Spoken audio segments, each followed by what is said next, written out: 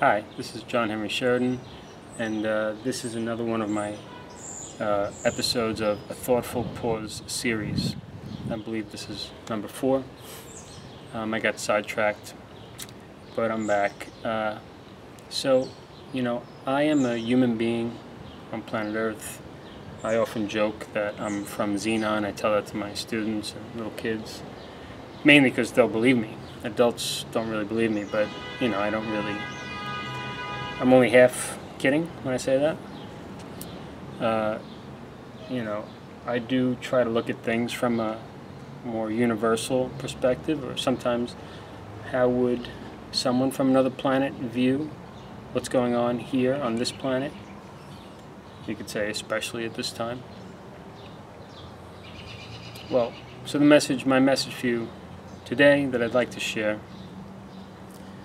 Wow, there's a nice big wasp right next to me is um, to share your inspirations.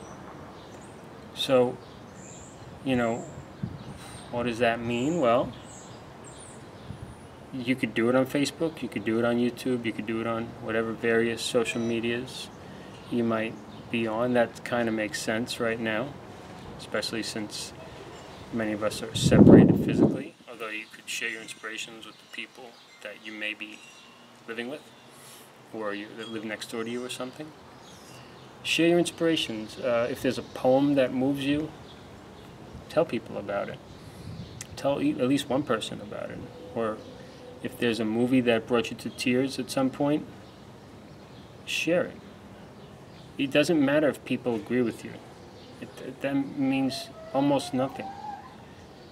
I won't say it has no meaning, but uh, if it if something moved me and I cried, other people's opinions of whether that is a moving movie or not doesn't matter because it moved me. Uh, and the same applies to you. Trust your heart. Trust what speaks to you. Share your inspirations. So, I don't know, if, if there's a song you really like, you could tell people about it. A movie, um, if you really like to cook certain dishes or uh, game that you like, whatever it is, uh, sewing, I don't know.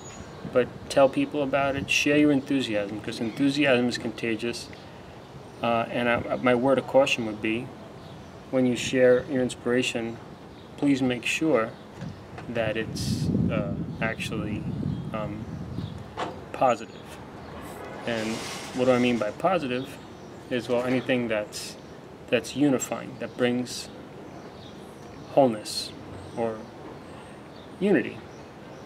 And what I mean by uh, negative is anything that divides or separates or weakens. So, more positive inspirations, share them with the world. You can make a difference by just sharing your inspiration.